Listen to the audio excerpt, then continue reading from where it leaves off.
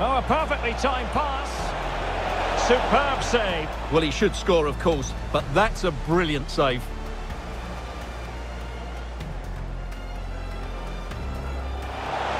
Was an important piece of defending. And there's the delivery. Well, very effective goalkeeping to touch it over. Another corner conceded. What can they do with this one?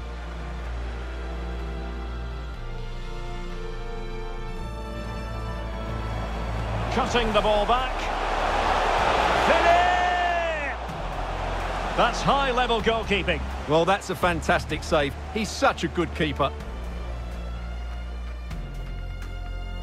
Electing to cross into the centre.